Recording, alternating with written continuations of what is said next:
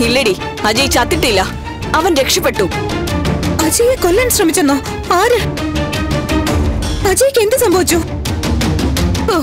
അവളുടെ ഒരു നാടകം. മതിയടി നിന്റെ പെർഫോമൻസ് കാണാൻ ഇവിടെ കാഴ്ചക്കാരാരുമില്ല.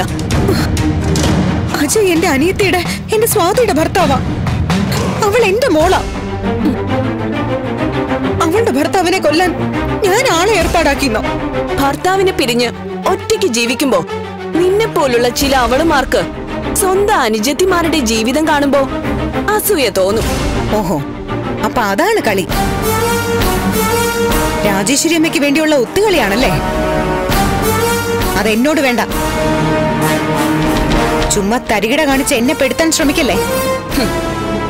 നിങ്ങൾ ഉദ്ദേശിക്കുന്ന ആളല്ല ഞാൻ. അനാവശ്യം കാണിച്ചാൽ കൈയും കെട്ടി അടങ്ങിയിരിക്കുമെന്ന് കരുതണ്ട. ഞാനും പ്രതികരിക്കും. കേടന്ന് തിളയ്ക്കാതടി. അടങ്ങി അവിടെ നിൽക്ക്. ഏതായാലും ഈ ഫോൺ എന്റെ കയ്യിൽ ഇരിക്കട്ടെ. ഈ കേസിൽ നിന്റെ പങ്കൊന്ന് ക്ലിയർ ആവട്ടെ.